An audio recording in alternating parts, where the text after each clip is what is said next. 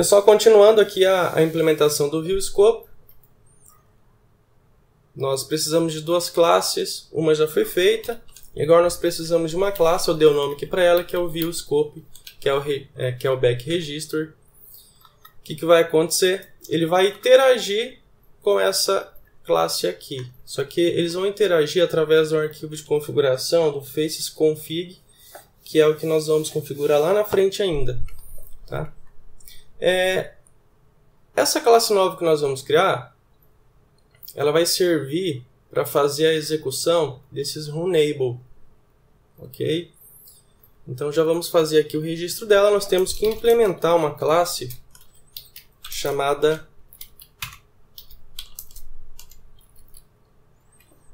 ViewMapListener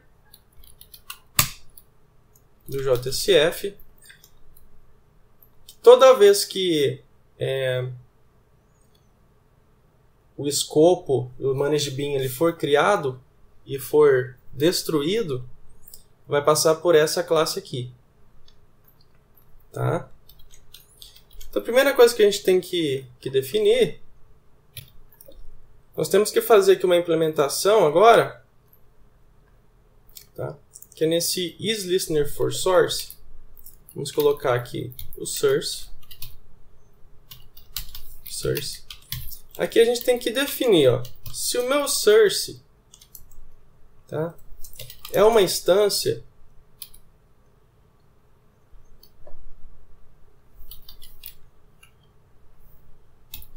ó, instance of é um instance of da raiz de componentes do JSF. Ó. UI view root.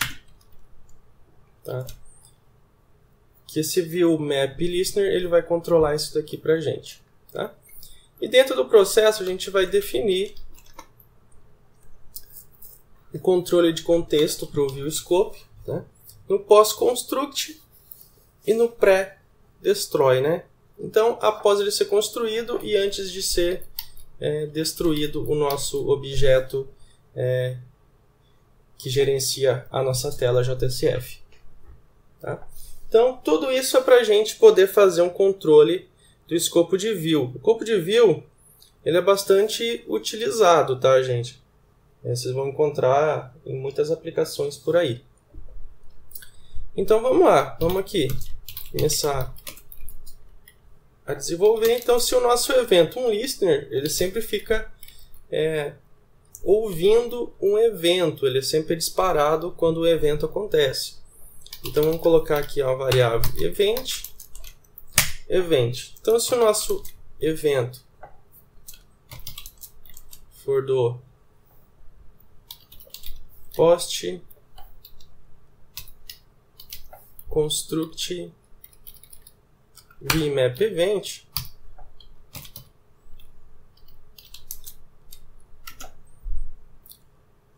nós vamos fazer aqui uma conversão de cache.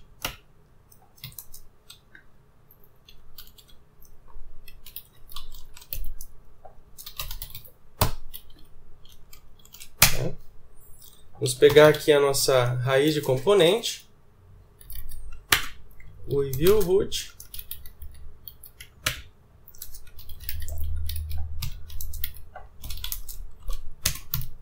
view root então vamos pegar da nossa conversão de cast, vamos pegar todos os componentes.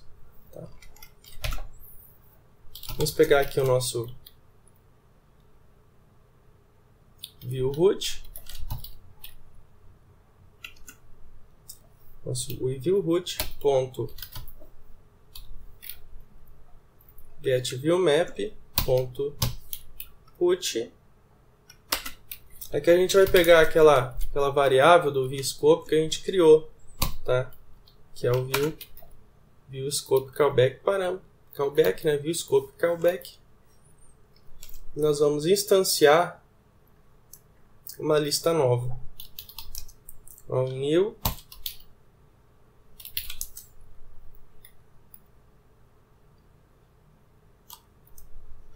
um new hash map de string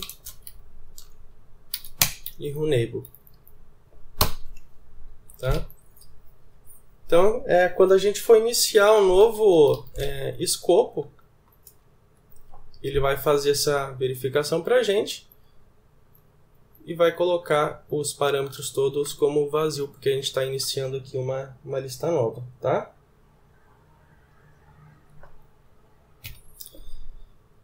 E agora se for para destruir, né? Se for para destruir, vamos passar por fora.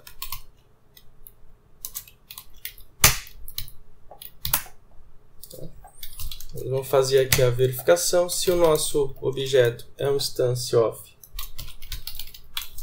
de pré-destroy viewMap event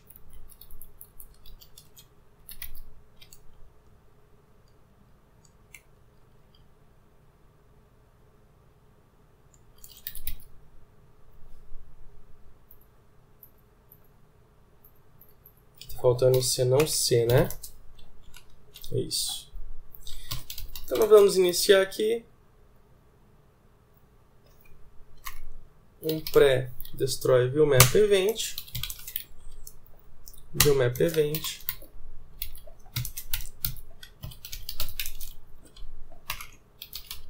para destroy viewmap event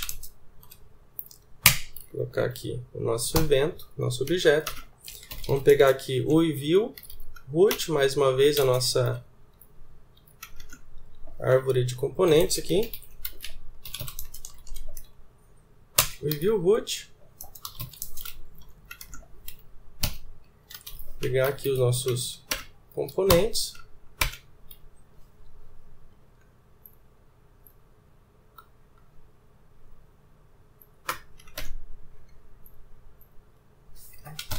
Vamos iniciar aqui a nossa nosso map.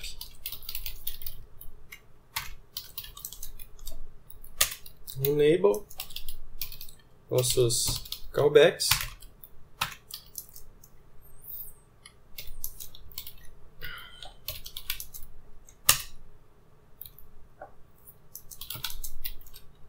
Nosso viewroot.get viewmap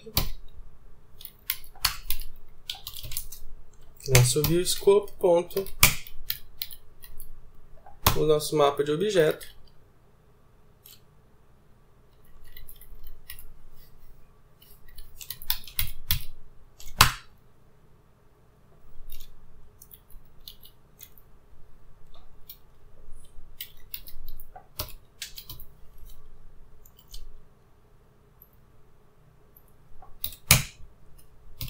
Aí C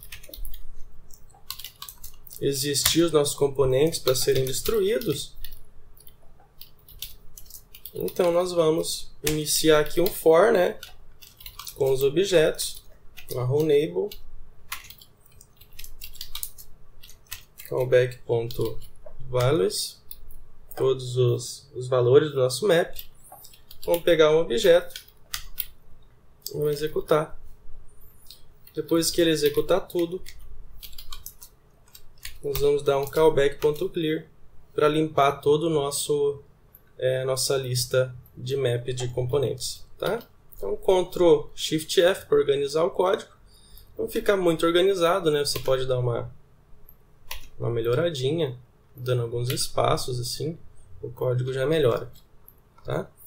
Esse arquivo aqui, essa classe nós vamos registrar ela no arquivo facesconfig, tá? Mas só que isso lá na frente ainda só depois que a gente é, criar toda a estrutura do nosso projeto e começarmos mesmo a partir para o JSF, tá?